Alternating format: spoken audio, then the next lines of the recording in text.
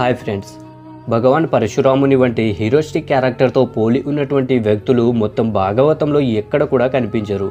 కావున ఆ పరశురాముని కథ యాక్షన్ మూవీ కంటే తక్కువేమి కాదు. రాక్షసులను చిత్తు చిత్తు కింద ఓడించిన కార్తవీర్య అర్జునుడి తల నరికిన యమకింకరుడు పరశురాముడు. గొడ్డలిని తన భుజాన వేసుకుని ఇరవై సార్లు భూమండలానంత చుట్టి అధికారం ఉందన్న గర్వంతో కళ్ళు నెత్తికెక్కి ప్రజలను పట్టిపీడిస్తున్న క్షత్రియులను చంపి వారి రక్తంతో భూమిని ప్రక్షాళన చేసిన మహావీరుడు సాక్షాత్తు పరమశివుని శిష్యుడు స్వప్త చిరంజీవులలో ఒకడు పరశురాముడు. అయితే పరశురాముడు ఇంతటి యోగ్యత కలిగి ఉన్నప్పటికీ ఆయన తన తల్లి మరియు సోదరుల శిరస్సును ఎందుకు ఖండించాడు? మరియు ఆ పరశురాముడే కలియుగంలో జన్మించేటటువంటి కల్కి భగవానుని గురువుగా ఎందుకు నియమించబడ్డాడు? అనే విషయాలను ఇప్పుడు మనం చర్చించుకుందాం. ఈ వీడియోను పూర్తిగా చూసిన తర్వాత కలికి భగవానుని గురువుగా పరశురాముడే ఎందుకు నియమించబడ్డాడు అనే విషయం మీకు స్పష్టమైపోతుంది. సో వీడియో లాస్ట్ వరకు మిస్ కాకుండా చూడండి. ఫ్రెండ్స్ అసలు స్టోరీలోకి వెళ్ళే ముందు ఒక చిన్న ఫ్లాష్ బ్యాక్ని గుర్తు తెచ్చుకుందాం. ఆ శ్రీకృష్ణుని వామనావతారము తరువాత రాక్షసుల సంఖ్య భూమిపై దాదాపుగా తగ్గిపోయింది. ఈ భూమండలంపై రాక్షసుల సంఖ్య తగ్గిపోయినప్పుడు క్షత్రియుల సంఖ్య పెరిగింది. అయితే ఈ రాజులు తమకున్నటువంటి అధికారాలను దుర్వినియోగం చేసుకొని ప్రజలను పట్టి పీడించడం మొదలుపెట్టారు. దీనికి అనువైన ఒక వండర్ఫుల్ ఎగ్జాంపుల్ ఏమిటంటే ఎప్పుడైతే మన భారతదేశాన్ని దాదాపు రెండు వందల సంవత్సరాలకు పైగా పరిపాలించినటువంటి బ్రిటిషర్స్ భారతదేశంలోని ప్రజల పాలిట రాక్షసులు. వాళ్ళు మన దేశాన్ని వదిలి వెళ్ళినప్పటి నుండి మన దేశంలోని రాజకీయ నాయకులే ప్రజలను శాసిస్తూ ప్రజల పాలిట రాక్షసుల్లా మారి ప్రజాతంత్రాన్ని దుర్వినియోగం చేస్తున్నారు. ఇదే తరహాలో ఎప్పుడైతే భూమిపై రాక్షసుల సంఖ్య తగ్గిపోయిందో అప్పుడు ప్రస్తుతం ఉన్నటువంటి పరిస్థితుల వంటి పరిస్థితులే నెలకొన్నాయి. కావున రాజుల యొక్క అత్యాచారాన్ని ప్రాలదోలేందుకు మహాపురుషుడైన పరశురాముడు జన్మించాడు. పరశురాముడు బ్రహ్మకుమారుడైనటువంటి మహర్షి భృగు వంశస్థుడు మహర్షి భృగు కుమారుడు రీచికుడు. రీచికుడి వివాహం కన్నౌజ్ రాజ్యానికి చెందినటువంటి క్షత్రియ రాజైన గాది కుమార్తె. రీచికుడి వివాహం కన్నౌజ్ రాజ్యానికి చెందినటువంటి క్షత్రియ రాజైన గాది కుమార్తె సత్యవతితో జరిగింది. రాజకుమారి సత్యవతి తన తల్లిదండ్రుల ఏకైక కూతురు. అయితే భగవాన్ పరశురాముని జననం సత్యవతి ద్వారానే అవ్వాల్సింది. కానీ భృగు మహర్షి ఆశీర్వాదం కారణంగా సత్యవతి గర్భం నుండి పూర్తిగా బ్రాహ్మణుడైన జమదగ్ని ముని పుట్టాడు. తరువాత జమదగ్ని ముని యొక్క వివాహం రాజా ప్రసన్నజిత్తుడి కుమార్తె రేణుకదేవితో జరిగింది. రేణుకదేవి ఐదుగురు కుమారుణ్ణి జన్మనిచ్చింది. వారిలో అందరికంటే చిన్నవాడు పరశురాముడు.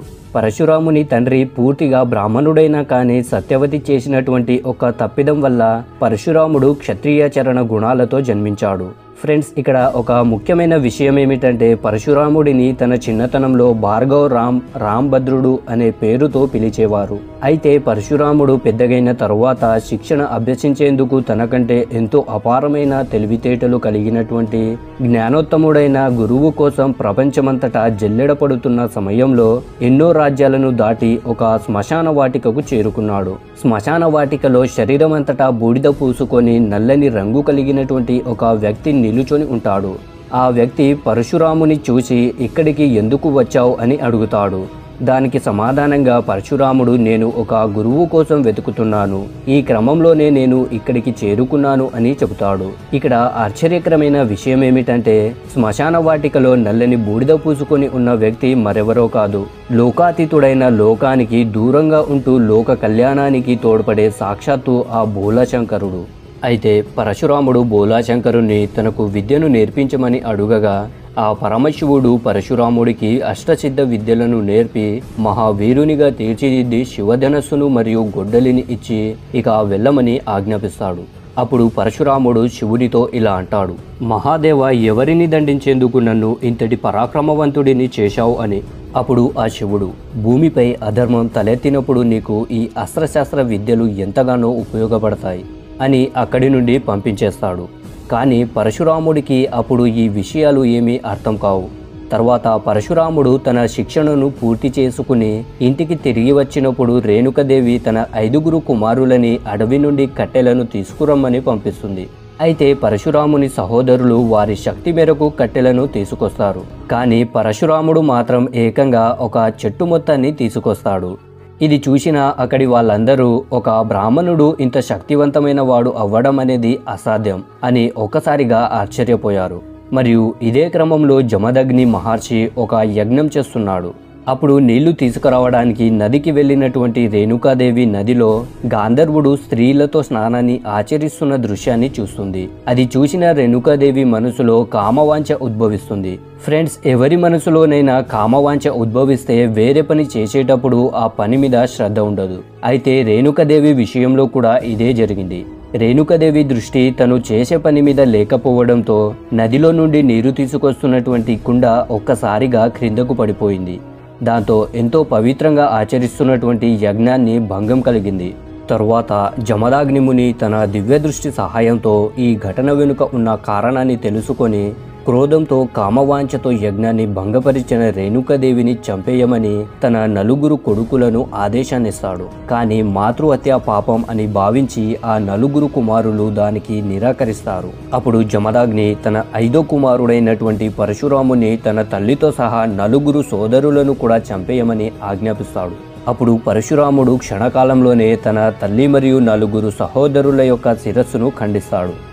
దాంతో జమదాగ్ని పరశురాముడిని నేను చెప్పగానే ఎందుకు నీ సహోదరులను మరియు తల్లిని చంపేశావు? అని అడిగినప్పుడు పరశురాముడు నేను కేవలం పిత్రాజ్ఞను పాటిస్తున్నాను అని చెబుతాడు. దీంతో జమదాగ్ని ప్రసన్నుడై ఏ వరం కావాలో కోరుకోమని అడిగినప్పుడు పరశురాముడు తన తల్లి మరియు నలుగురు సహోదరులను మరలా పునర్జీవించమని అడుగుతాడు. అలా మళ్ళీ పరశురాముడి తల్లి రేణుకాదేవి మరియు తన నలుగురు సహోదరులు పునర్జన్మనెత్తుతారు. పరశురాముడు తన తల్లి మరియు సహోదరుల శిరస్సును జమదాగ్ని ఆదేశాల మేరకు ఖండించడానికి గల కారణం జమదాగ్నికి పునర్జీవించే శక్తులు ఉన్నాయని పరశురాముడికి ముందుగానే తెలిసి ఉంటుంది. ఈ సంఘటన తర్వాత కొంతకాలానికి తన శక్తి వలన రావణుడి వంటి పరాక్రమవంతుడిని సైతం యుద్ధభూమిలో పరుగులు పెట్టించిన వెయ్యి చేతుల బలాన్ని కలిగినటువంటి రాజకర్త వీర అర్జునుడు తన సైన్యంతో పాటు అడవి మార్గం గుండా వెళుతున్న సమయంలో ఆకలితో అలమటిస్తున్న వారికి జమదాగ్ని ముని యొక్క ఆశ్రమం కనబడుతుంది. దాంతో రాజు మరియు అతని వెంట ఉన్నటువంటి సైనికులు జమతాగ్ని ఆశ్రమం వద్దకు వెళ్తారు. వాళ్ళను చూసినటువంటి జమతాగ్నిముని మీరంతా ఆకలితో ఉన్నట్టున్నారు. మా ఆశ్రమానికి వచ్చి మా ఆతిథ్యాన్ని స్వీకరించమని కోరుతాడు. దానికి కార్తవీర అర్జునుడు మేము ఇంచుమించు వంద మంది వరకు ఉన్నాము. మీ వద్ద మా అందరి ఆకలి తీర్చేంత భోజనం ఉంటుందా అని వెటకరంగా సంబోధిస్తాడు. దానికి సమాధానం జమతాగ్ని ముని మేము కేవలం వంద మందినే కాదు. వెయ్యి మంది వచ్చినా కానీ వారికి తినిపించేంత సామర్థ్యం మాకు ఉంది అని చెబుతాడు. తరువాత కార్తవీర అర్జునుడితో పాటు తన వెంట ఉన్నటువంటి సైనికులు అందరికీ ఏం కావాలంటే అది తినడానికి తెచ్చిపెట్టారు. అయితే రాజా కార్తవీర అర్జునుడు ఇన్ని రకాల వంటలు ఎలా చేస్తున్నారు అని తెలుసుకునేందుకు వంటగదిలోకి వెళ్తాడు. అప్పుడే అతనికి కోరికలను నెరవేర్చే కామధేనువు కనిపిస్తుంది. ఇది చూసిన రాజా కార్తవీర అర్జునుడు కామదేవుని తనతో పాటు తన రాజ్యానికి తీసుకువెళ్తానని జమతాగ్ని మునికి అడుగుతాడు. కానీ జమతాగ్ని ముని కామధేనువు నాకు వరంగా లభించింది. దాన్ని నేను నీకు ఇవ్వలేను. ఒకవేళ కామధేనువు మీతో పాటు వెళ్ళాలని అనుకుంటే మీరు కామధేనువును తీసుకువెళ్ళవచ్చు అని చెబుతాడు. దాంతో రాజు కామధేనువును తీసుకొచ్చేందుకు తన సైనికుల్ని పంపుతాడు. కానీ కామధేనువు తన రక్షణ కొరకు రెండింతల సైనికులను ప్రత్యక్షం చేస్తుంది. దాంతో రాజా కార్తవీర అర్జునుడు జమతాగ్ని ముని అక్కడ లేకపోయి ఉంటే కామధేనువు నాతో పాటు వచ్చేది అని భావించి తరువాతి రోజు రాజా కార్తవీర అర్జునుడు తన కుమారులను జమతాగ్ని ధ్యానం చేస్తున్న సమయంలో తన శిరస్సును ఖండించమని ఆదేశిస్తాడు. అయితే జమతాగ్ని మునివర్యుల శిరస్సు తెగి కిందపడి ఉన్న దృశ్యాన్ని చూసినటువంటి రేణుకాదేవి పరశురాముని ఇరవై ఒక్కసార్లు పిలిచింది. కానీ పరశురాముడు అక్కడికి చేరుకునే లోపే కార్తవీర అర్జునుడు కామధేనువును తీసుకొని అక్కడి నుండి రాజ్యానికి వెళ్ళిపోయాడు. అప్పటి క్షత్రియులు రాక్షసుల కంటే హీనంగా ప్రవర్తించడంతో క్షత్రియులు నామరూపం లేకుండా చెయ్యమని రేణుకదేవి పరశురాముని వద్ద మాట తీసుకొని తన దేహాన్ని వదులుతుంది. కావున పరశురాముడు గంభీర రూపాన్ని దాల్చి కార్తవీర అర్జునుడి రాజమందిరం ముందు నిలబడి సినిమాలో వలె రాజా బయటికి రా నువ్వు బయటికి వస్తే ఒక్కడివే చస్తావు. లేకపోతే నీతో పాటు ఇక్కడ ఉన్నటువంటి ప్రతి ఒక్కరూ చేస్తారు అని గంభీరమైన స్వరముతో చెబుతాడు. కానీ కార్తవీర అర్జునుడు ఒక బ్రాహ్మణుడు ఏం చేయగలడులే అని భావించి పది మంది సైనికులను పరశురాముణ్ణి చంపేందుకు పంపిస్తాడు. అయితే రాజా కార్తవీర అర్జునుడు పరశురాముణ్ణి తన సైనికులు చంపే వైనాన్ని చూద్దామని తన సింహాసనంపై ఎక్కి కూర్చొనే లోపే ఫుట్బాల్ వలె తన ముందు పది తలలు వచ్చి పడ్డాయి. అప్పుడు రాజా కార్తవీర అర్జునుడు తన లక్షలాది సైనికులతో ఇలా చెబుతాడు. ఎవరైతే ఆ బ్రాహ్మణుడి తల నరికి తీసుకువస్తాడో తనకు నేను వజ్రవైడూర్యాలను బహుమతిగా బహూకరిస్తాను అని చెబుతాడు. ఆ మాట వినగానే లక్షలాది మంది సైనికులు అచ్చు బాహుబలి సినిమాలో లాగానే పరశురాముని చంపి తన శిరస్సును తీసుకొచ్చేందుకు పరుగులు తీశారు. కానీ కేవలం ఐదు నిమిషాల్లోనే పరశురాముడు వాళ్ళందరినీ మట్టు పెట్టేశాడు ఈ దృశ్యాన్ని చూసిన రాజా కార్తవీర అర్జునుడు ఒక్కసారిగా ఉలిక్కిపడ్డాడు. అంతలోనే ఒక గొడ్డలి రాజా కార్తవీర అర్జునుడి ఎడమవైపు నుండి మెరుపు వేగంగా కదులుతూ పరశురాముని చేతిలోకి వెళుతుంది. సేమ్ లైక్ థోర్ హమ్మర్ ఇక క్రోధంతో గడగడలాడుతున్న కార్తవీర అర్జునుడు యుద్ధానికి సిద్ధపడి పరశురాముడితో తలపడతాడు. కానీ వారి మధ్య పోరు ప్రారంభమైన క్షణకాలంలోనే పరశురాముడు కార్తవీర అర్జునుడి వెయ్యి చేతుల బలం కలిగిన తన చేతులను నరికేసి తదుపరి క్షణమే కార్తవీర అర్జునుడి శిరస్సును ఖండిస్తాడు. ఆ శ్రీ మహావిష్ణువు ఎత్తినటువంటి అవతారాలలో ఈ అవతారంలోనే తన శత్రువుని వన్ మినిట్ కంటే తక్కువ సమయంలోనే తన శత్రువును అంతమొందించాడు. తరువాత పరశురాముడు ఇరవై సార్లు భూమండలాలంతా చుట్టుముట్టి క్షత్రియులను అంతమొందించాడు. కానీ పరశురాముని గురువు అయినటువంటి శివుడు పరశురాముని శాంతపరిచి మళ్ళీ ఎప్పుడు ఆయుధాన్ని వాడకూడదని రిటైర్మెంట్ ఇప్పించేశాడు. అయితే ఇంతటితో పరశురాముని కథ సమాప్తం అని అనుకుంటే మాత్రం అది మన తప్పే అవుతుంది.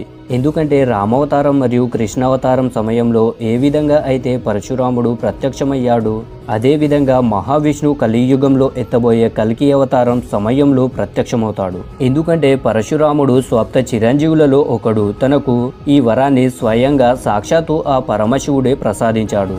మరియు పరశురాముడు కలియుగంలో కలికి యొక్క గురువుగా నియమించబడ్డాడు కూడా. ఎందుకంటే పరశురామావతార సమయంలో రాక్షసుడు ఒక రాజు రూపంలో ఉండి ఎలాగైతే ప్రజలపై తన అధికారాన్ని చలాయించాడో కలియుగంలో కూడా కలిపురుష్ ఒక రాజుల భౌతిక రూపాన్ని కలిగి ఉండి అన్యాయక్రమాలతో కూడిన రాచరిక వ్యవస్థను ఏర్పాటు చేసుకొని ప్రజలను పట్టి పీడిస్తూ ఉంటాడు. కలియుగంలో భూమిపై కేవలం ఒకే ఒక రాజు ఉంటాడు తనే కలిపురుష్. తను చేసే అక్రమ అన్యాయ అరాచకాలను నివారించేందుకు ఆ మహావిష్ణువు కల్కి అవతారంలో పరశురాముడి వద్ద శిక్షణను పొంది కలిపురుష్ను అంతమందిస్తాడు. ఈ యుద్ధంలో కూడా ఎంతో మంది చనిపోతారు. దీని తర్వాత మళ్ళీ ఓ కొత్త యుగం ప్రారంభమవుతుంది.